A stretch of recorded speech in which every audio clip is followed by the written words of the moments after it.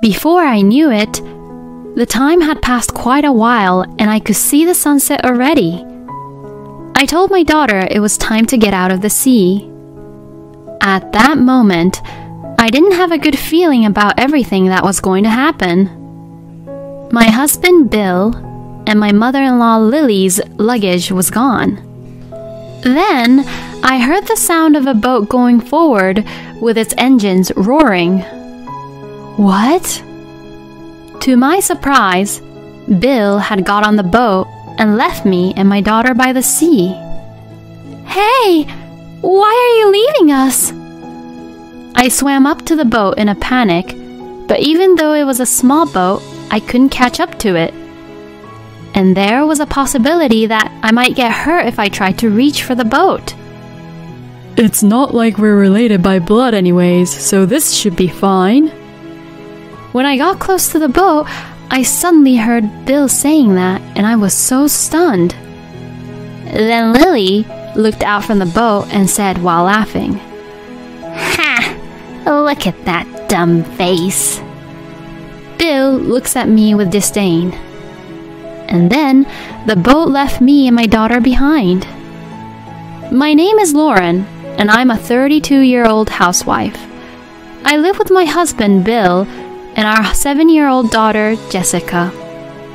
Jessica is always working hard in her studies and sports, and she also practices hard every day for her piano lessons, which she has been learning since she was five years old. Jessica is really cute, and she is my treasure. My life with Jessica is full of happiness, but things were not going so well with Bill. Bill and I met about 10 years ago. I joined the company as a new employee, and Bill was two years my senior. We became close when my husband took on the role as my trainer for the OJT. I was attracted to him because he worked so hard and was carefully teaching me about my job, and we naturally got into a good relationship and began dating. After two years of dating each other, we got married. We had a great time as newlyweds. Bill took very good care of me, and I knew that he loved me dearly. When Jessica was born, he was saying, She's like an angel, and loved her. Because Bill loved her a lot, I thought that if Jessica says that she will get married in the future, he was going to faint or something. However, when Jessica was about two years old, Bill's attitude suddenly changed. He became very cold toward me and stopped caring about our daughter. I couldn't understand why. He would not talk to me and would not hold or talk to Jessica anymore. After about a month of this, I reached my limit and questioned Bill. Hey, why are you so distant from me and Jessica lately? Did I do something to offend you? I don't know what's causing you to be like this, and it's really bothering me. I think I shouted something like that to Bill. That's how confused I was about the sudden change in Bill's attitude. Then, Bill calmly says this Because that child is not mine. What? I couldn't understand what he meant. Jessica is truly our child. What are you talking about? Jessica is definitely your daughter. I told him that, but he wouldn't listen to me. Because she doesn't look like me at all, you know? That's not true. She's only two years old now, so you can't really tell, but I'm sure that her resemblance to you will become more obvious in the future. No, you're wrong. I won't be fooled. She has green eyes. Plus, her eyes are pretty big. Huh? I have blue eyes, so there's no way I could have a beautiful baby with green eyes like this. My husband's shallow reasoning left me in a state of shock. No, no, I mean, look at me. I have green eyes. So that means she has the eyes just like mine. When I said this, Bill looked a little convinced, but perhaps his pride wouldn't allow it. He didn't agree with me. You're probably trying to deceive me by saying that. That's not true. You really have to believe me. Eventually, Bill asked for some time to think about it and went back to his parents' house at that time. At that time, I remember that I began to question his thoughts and began to distrust him. I wondered if we could build a proper family together as parents, let alone a marriage. After returning back to his parents, it seemed like Bill had explained the situation only from his point of view, so Lily called me and cursed me, saying, You slut! After that, my in laws and I had a discussion at their house, and we decided to do a DNA test to find out about it once and for all. Bill says, Even if we don't do that, it's obvious, and I know that she's not my child. But when I insisted on having the test done, he reluctantly agreed. After the test, it turned out that she was also Bill's child. My husband looked at me unconvinced, saying, You're kidding. But my father in law, Pete, said, The results came out. Why don't you just admit it and apologize to Lauren? And because Pete shouted at him, Bill finally came to his senses. Lauren, I'm sorry I doubted you. I don't know what's come over me. Bill bowed his head and apologized, so I forgave him for now. I know some people would have gone for a divorce at this point, but I had become a housewife when I got married and was not making enough money, and I felt bad about taking Jessica's own father away from her, who was only two years old at the time. Besides, after all, I had married after having fallen in love properly, and I didn't want to just get a divorce right away. However, I would later regret that I should have divorced Bill at the time. Thus, I continued the married life with Bill, but there was a somewhat awkward atmosphere with him. Still, little by little, we began to talk more and more, and we began to feel like a married couple for the time being. However, Bill didn't seem to be able to open up to Jessica. When I say, Come on, Bill, play with her, he says, Uh, oh yeah. and it becomes somewhat awkward. He would play with Jessica for a little bit, but then he would immediately say, I think mothers are better for this. and passes her to me. In the end, Bill hardly ever played with Jessica as she grew up. When Jessica was about five years old, she was very curious and interested in many things. She read a lot of books and other things and always asked me questions when she didn't understand something.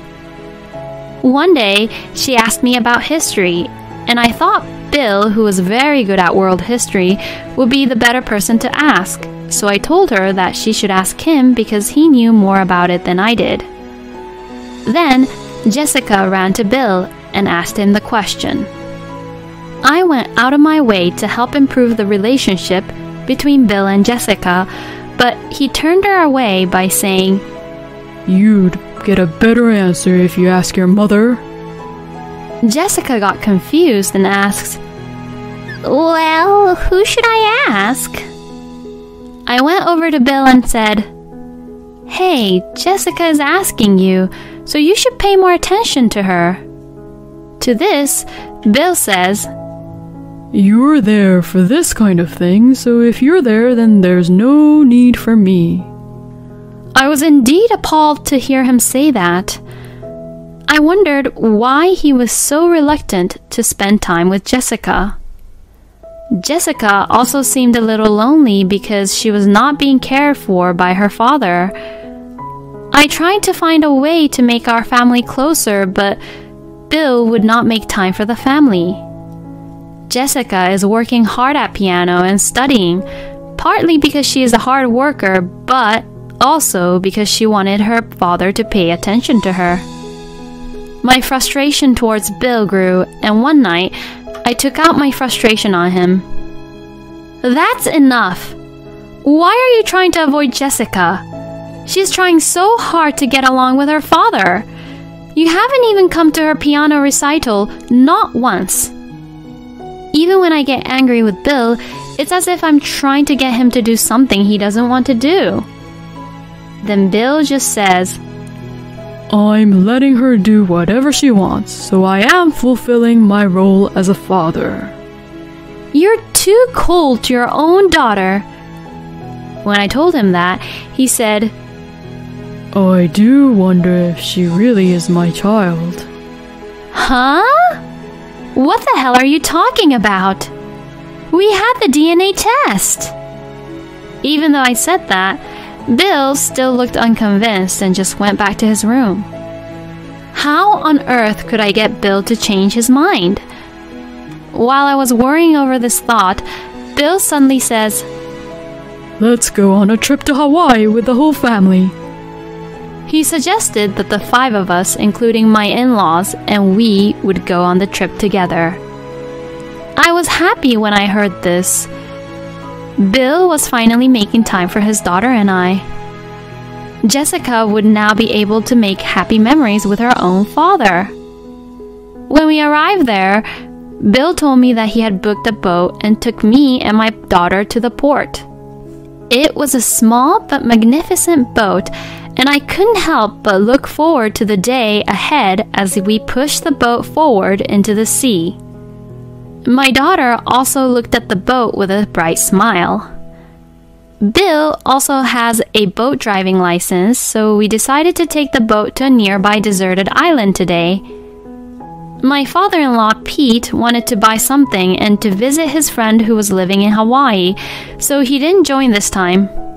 Thus, Jessica, Bill, Lily, and I decided to go to the deserted island.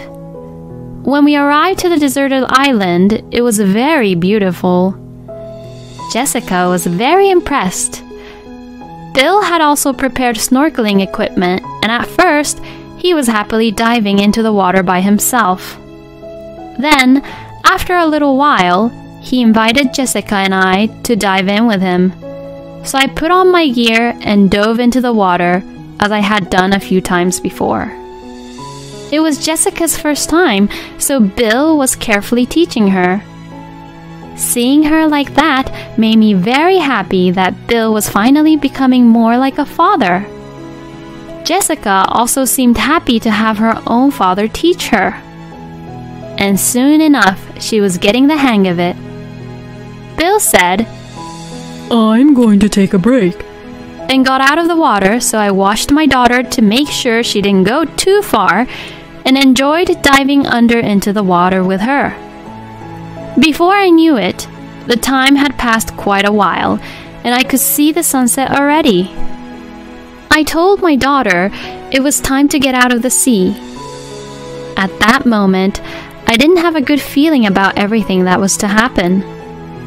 My husband Bill and my mother in law Lily's luggage was gone. Then I heard the sound of a boat going forward with its engines roaring. What? To my surprise, Bill had got on the boat and left me and my daughter by the sea. Hey, why are you leaving us? I swam up to the boat in a panic, but even though it was a small boat, I couldn't catch up to it. And there was a possibility that I might get hurt if I tried to reach for the boat. It's not like we're related by blood, anyways, so this should be fine. When I got close to the boat, I suddenly heard Bill saying that, and I was so stunned. Then, Lily looked out from the boat and said while laughing, Ha! Look at that dumb face. Bill looks at me with disdain. And then the boat left me and my daughter behind. I quickly returned to the island and ran over to Jessica. Jessica looked terrified. Were we stranded here? I hugged Jessica, who was about to cry, and rubbed her back, telling her that everything would be all right. But it is hopeless to be stranded in a deserted island. Fortunately, I had portable food in my bag, which would last at least a day or two, but not for a long period of time. Maybe someone would notice about us. With Jessica being there, I was able to keep my cool. Let's warm up for now. We could catch a cold since we were both wet from snorkeling in the water. I wiped Jessica's hair and body thoroughly with the towel I had brought and dressed her. And together, we brought a number of thin tree branches and gathered dead leaves to make a fire. I was glad I had brought a lighter for something. As I lit the fire with the lighter, it gradually spread to the dead leaves and tree branches. In this way, we managed to warm ourselves. But what if help never came? I couldn't shake the feeling of anxiety. It was at that time, about two hours after Bill left us, a small boat came towards us. I stood up hurriedly, waved my hands, and shouted, Help! over and over again. The boat stopped near us, and the owner of the boat came over to us. Are you okay? He called out to us and motioned for us to get on the boat. The man was a staff member of the boat shop that lent the boat to Bill. While we were on the boat, the man began to explain. The man said that when Bill returned the boat to him, Bill and Lily had left immediately, and right after, he suddenly thought that the number of people who had returned was not right. That made him worry which is why he came over to the island to check. I was so relieved that I burst into tears. Jessica was sleeping in my arms, probably because she was exhausted from fear. We made it safely back to the island where our hotel was located, and after thanking the people who came to help us, Jessica and I headed back to the hotel. When I got to the hotel, I met Pete in the lobby. Oh, Lauren, aren't you with my son and wife? Pete came over to see me, but when he saw how tired I looked, he immediately realized that something was wrong. Let's sit over there in the lounge, he says, and as we sat down, he listened to what I had to say. I told him that today we were left behind and that Bill has been cold towards Jessica for some time. After listening to me, Pete bowed his head and apologized to me. He told me that he would never forgive what Bill and Lily had done to us. When I think about it, Pete was the only one who always tried to confirm the truth when Bill suspected that Jessica wasn't his child, and Pete always loved his grandchild. He was my only ally. Pete says, Let's teach them a lesson. I agreed and went with him to the front desk of the hotel. Fortunately, Bill and Lily had not come back to the hotel yet, as they were probably having dinner somewhere. Since I was the one who made the reservation to the hotel, I cancelled my stay. Now, Bill and Lily wouldn't be able to stay here. Pete was planning to stay at his friend's place, who lives around here, and he was going to wait for us at the hotel to tell us about it. So, Pete says, Lauren, you should come with me. And took Jessica and I to his friend's house. His friend also had his wife, and they both welcomed us at their place.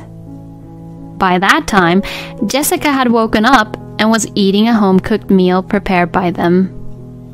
Then I got a call that Bill and Lily had been caught by the police. This is because they had made a big fuss about not being able to check in at the hotel. The front desk rushed to report the incident and the police rushed to the hotel, but they protested aggressively, saying, We made a reservation. Bill and Lily probably protested because they didn't want to be taken advantage of, but if you don't obediently follow the police instructions, you'll be arrested. They asked Pete and I's help, but we refused. I told the police that the two had left Jessica and I on a deserted island. The police also took a statement from the staff who lent the boat as an evidence. As a result, Bill and Lily was both charged with a crime and were in quite a difficult situation. My husband panicked and managed to get a lawyer, but he had to pay a large bail amount and lost thousands of dollars overnight. Moreover, they were in jail for several days until they were released on bail, and both Bill and Lily were exhausted physically and mentally. It's a great feeling to get back to them like this. Because if the boat staff had not come at that time, Jessica and I would have suffered much worse. Jessica and I returned home ahead of the others, packed our belongings, and went back to my parents' house. Then I confronted Bill, who returned right after us, with divorce papers through my lawyer, and also demanded alimony for the emotional distress he had caused my daughter and I. At that time, I asked him through my lawyer why he did what he did and why he didn't pay any attention to his own daughter until now. According to the lawyer, Bill told me that he has suddenly lost all love for our daughter once he suspected that she was not his child. I was appalled and shocked to hear this. Even though a proper DNA test had been done, he still couldn't believe that Jessica was his own child. I regretted a little that I should have separated Jessica from such a horrible father way earlier. Bill was left to pay alimony and child support to me after the divorce, which left him in debt. Furthermore, I reported this incident to my former boss, who still works for the same company, so Bill's disgusting behavior quickly spread throughout the company, and he was identified as the guy who tried to leave his wife and child to die, and now it seems like he is feeling very ashamed of himself. He's now in debt, so he can't really quit work, and the stress is getting to him. And Pete divorced Lily because of this incident. Lily, who had been living on Pete's salary, was thrown out of the house without a job, and she panicked and asked Bill for help, but he refused, saying that he could not afford it, so she is now living in a rundown apartment while working a part time job. Meanwhile, I got a new job, rented an apartment just big enough for the two of us, and started living with Jessica. Jessica doesn't even think of Bill as her father anymore, and she gives all her affection and love to me.